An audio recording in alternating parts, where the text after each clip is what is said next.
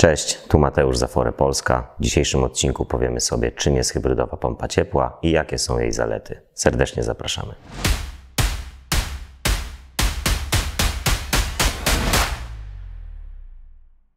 Jak sama nazwa wskazuje, hybryda oznacza połączenie. W przypadku pomp ciepła jest to połączenie pompy ciepła, tradycyjnej pompy ciepła powietrze-woda, która korzysta z odnawialnego źródła energii oraz wbudowanego kotła kondensacyjnego, który korzysta z paliwa gazowego.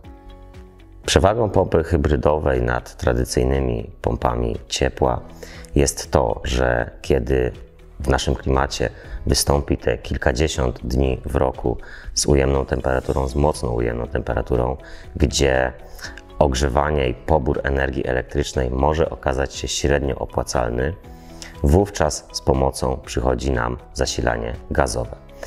W przypadku pomp ciepła sola mamy do czynienia z pełną automatyzacją pracy i kolokwialnie mówiąc, kiedy prąd jest drogi, kiedy koszt naszego ogrzewania jest wysoki, pompa posiada wbudowane liczniki i automatycznie przełącza na wspomaganie gazowe.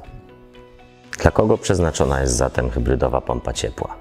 Po pierwsze, hybrydowa pompa ciepła będzie naturalnym wyborem dla tych, którzy chcą zmodernizować swój system ogrzewania i na przykład wymienić stary piec gazowy. Tutaj dobra wiadomość jest taka, że modernizacja polegać będzie tylko i wyłącznie na usunięciu tego starego wspomnianego pieca, ponieważ pompy ciepła Solas są przystosowane do współpracy z pozostałą resztą systemu ogrzewania. Z kaloryferami zarówno starego, jak i nowego typu, z ogrzewaniem podłogowym czy systemem mieszanym. Powód numer dwa.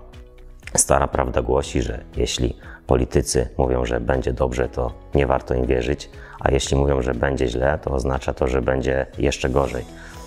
Teoretycznie, według polityków, mamy do czynienia, mamy przed sobą najcięższą ekonomicznie zimę. Koszta paliw są bardzo wysokie. Natomiast nikt nie daje gwarancji, że te koszta nie będą się zmieniać w kolejnych latach. Jeśli chcemy stabilnie stać na dwóch nogach, prąd i gaz wydaje się być dobrym pomysłem, bo te ceny na pewno będą się zmieniać. Dziś gaz jest drogi, jutro może być inaczej. Serdecznie dziękuję. Zapraszamy na kolejny odcinek. Trzymajcie się.